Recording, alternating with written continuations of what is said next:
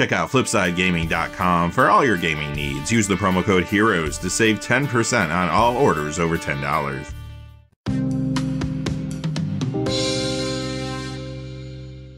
Hey there, this is John from Heroes and Legends, and welcome to this special edition of the Magic the Gathering Market Watch. It's that time of the week again to count down the 10 hottest cards of the week.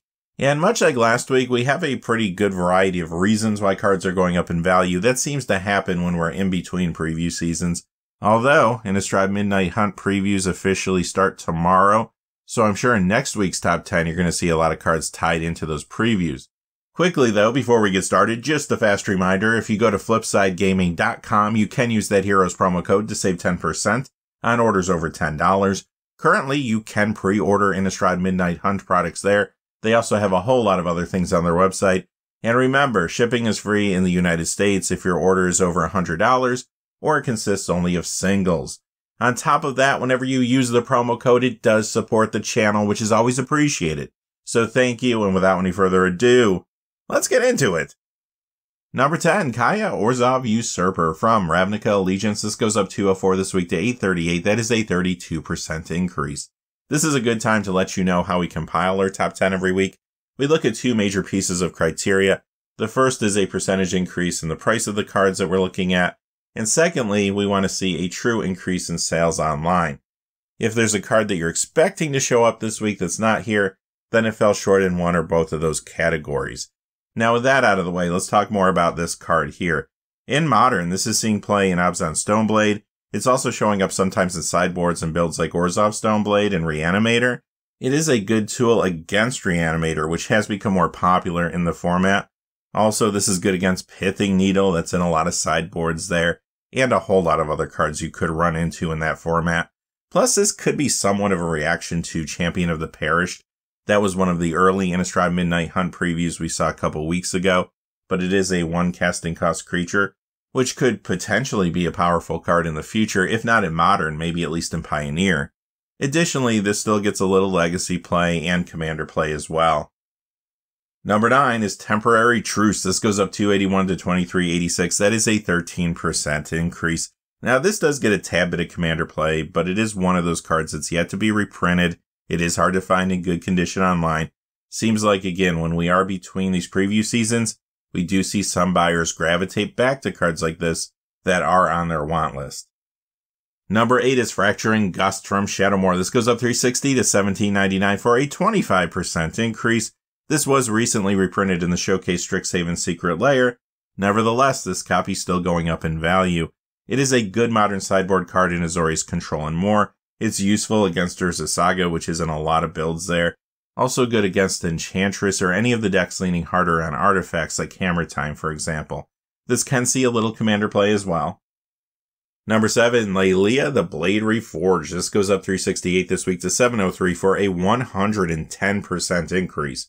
Now, this is a good upgrade to two of the adventures in the Forgotten Realms commander decks.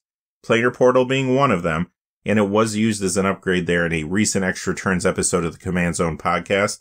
This is also a great upgrade to Draconic Rage, and many players are adding this to fresh builds around cards from those decks, Prosper Tomebound and Wulfgar of Icewind Dale. Additionally, this is getting more commander play and builds around another new card from the main set, Targnar Demonfang Gnoll. When it comes to the future for this card, I do think it could see some additional play since it is a spirit. We know there's two Innistrad sets coming as well as Kamigawa Neon Dynasty.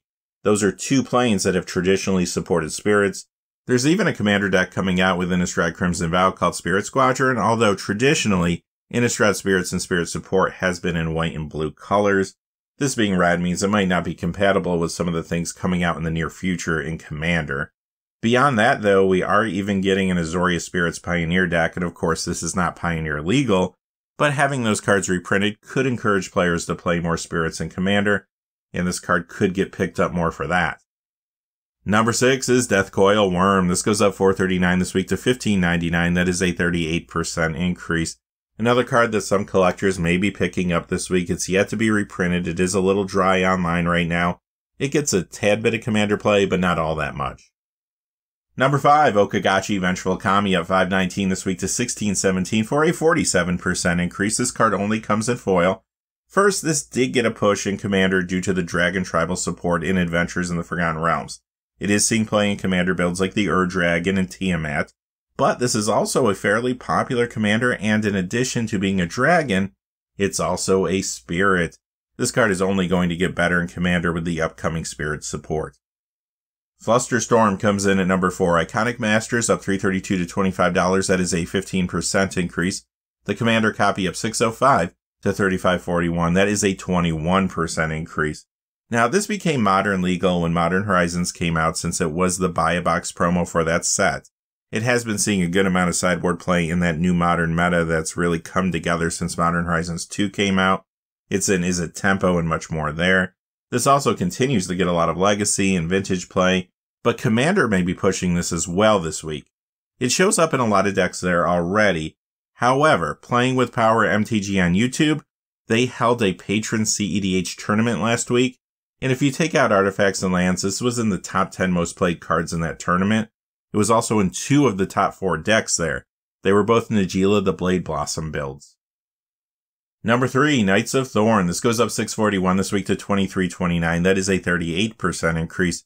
Even though reserve list cards from the dark are not as hot as they were a few months ago, you do still see one or two jumping a little each week.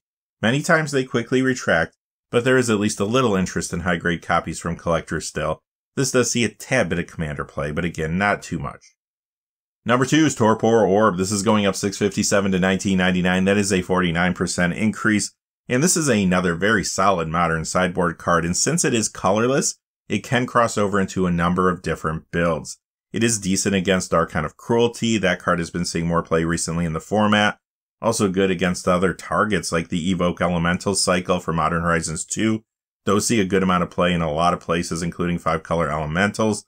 And that's another deck that has been very popular recently. Plus, you'll find many other targets for this card in that deck.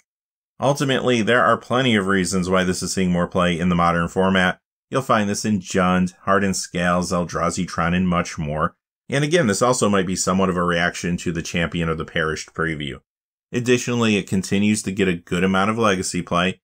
Plus, it's seen more commander play recently. Some players have picked this up as an upgrade to Aura of Courage, another one of those adventures in the Forgotten Realms commander decks. Others are putting this in fresh builds around a card from there, Galea Kindler of Hope. And I have seen this in some Oswald Fiddlebender builds too. And number one is Well of Knowledge. It goes up 958 this week to 1750. That is a 121% increase. Now this does see a tad bit of commander play, sometimes in group hug or pillow fort style builds, but it is a reserve list card that is hard to find online in good condition. Due to this quick increase in value, it looks like this could perhaps be the target of a buyout. That's going to do it for this week's top 10 hot cards, but remember to join us this weekend for our regular episode of the Market Watch. There we deep dive into everything that's happening in the secondary market.